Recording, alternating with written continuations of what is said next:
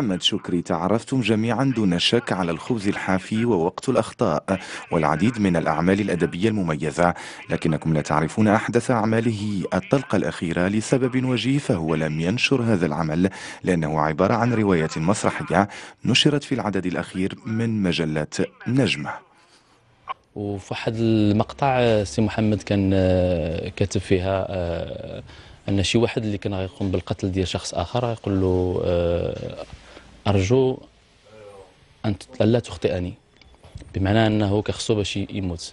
وان من بعد التنقيح لأن في الايامات الأخيرة سي محمد كان التوتر مع كان كيعيش ديك الساعة تجربه ديال الموت مع المرض ديال السرطان التنقيح اللي تم هو أنه قال له أرجو أن تخطئني. يهمني في هذا العمل هو ذلك الحوار بين محمد شكري ونفسه. ذلك الصراع اليومي الأبدي بين محمد شكري ونفسه بين محمد شكري وأعماله.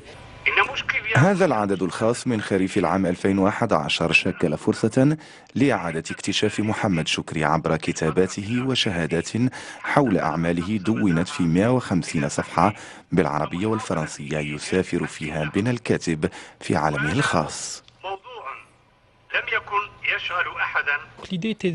الفكرة هي تكريم هذا الرجل عن طريق كتاباته الدالة على شخصية كاتب ليس بالعادي وإنما هو من نوع خاص. ما نريده تحديد الكتابات والأقوال لأن هذا العدد أرفق به قرص مدمج يتضمن استجواباته وفقرات من برامجه. الأدب هو إعادة محاكاة الأشياء والكتابة تأكيد للذات وهو ما كان يردده محمد شكري الكاتب الذي رحل عنا إلى دار البقاء في العام 2003 والذي ينتظر أن تخرج إلى النور مؤسسة باسمه كما كان يتمنى قبل وفاته.